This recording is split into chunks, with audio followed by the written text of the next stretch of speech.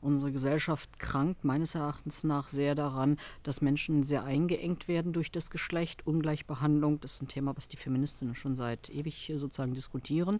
Äh, da haben wir auch vielleicht gewisse Erfolge. Für Menschen, die den, die den Geschlechternormen aber nicht entsprechen, haben wir massive restriktive Einschränkungen und die Einschränkungen betreffen nicht nur Erwachsene, die am ehesten eigentlich bisher wahrgenommen werden, äh, sondern das, die betreffen auch vor allen Dingen Kinder und Jugendliche.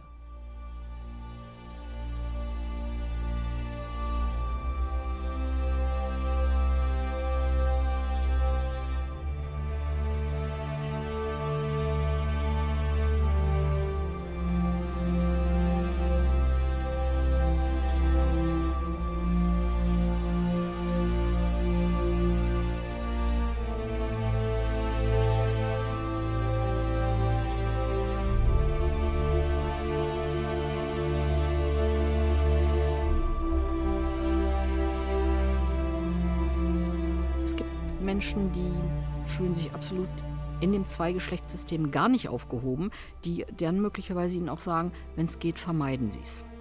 Wenn es geht, ich bin weder Mann noch Frau oder ich bin beides. Bei beides geht es noch. Da gibt es solche Konstruktionen wie He, She. In unterschiedlichen Sprachen gibt es schon einige Entwicklungen. Für nicht Identifizierte ist es sprachlich tatsächlich sehr schwierig, weil unsere Sprache sehr an die Zweigeschlechtlichkeit gekoppelt ist.